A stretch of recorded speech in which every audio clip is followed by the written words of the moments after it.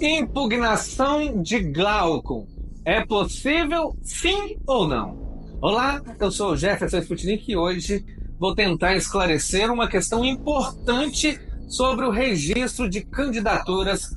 Recentemente houve um questionamento envolvendo o candidato Glauco, cujo registro inicial foi feito no dia 12 de agosto, dentro do prazo legal. No entanto, essa candidatura ela precisou ser atualizada para incluir a coligação com o Partido Republicanos, resultando em um novo protocolo no dia 22 de agosto.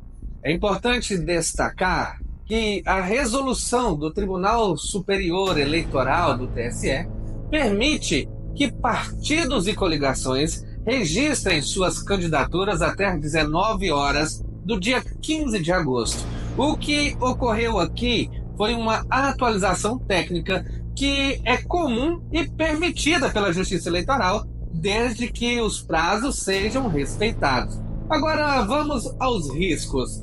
Se houver qualquer irregularidade no registro ou se os prazos não forem cumpridos corretamente, a candidatura pode ser impugnada. A impugnação é um processo em que a Justiça Eleitoral avalia se o registro de uma candidatura é válido ou não. Mas é importante ressaltar que isso só ocorre após uma decisão do juiz responsável. No caso do candidato Glauco, o registro original foi feito no dia 12 de agosto e deve ser considerado válido. E a atualização re realizada posteriormente não comprometeu a candidatura desde que tudo esteja em conformidade com a lei. Portanto, não há motivo para alarme, mas é fundamental que todas as regras sejam rigorosamente seguidas para evitar problemas legais. Impugnação de Glauco é possível? Sim ou não?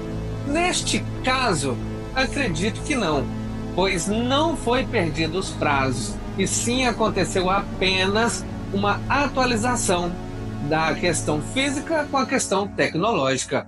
Qualquer denúncia, ela pode colocar qualquer candidato em julgamento, mas o parecer jurídico sempre vai ser pelo que diz a lei, baseado em dados materiais e oficiais. Isso é tudo por hoje e seguimos atento às próximas notícias das eleições 2024.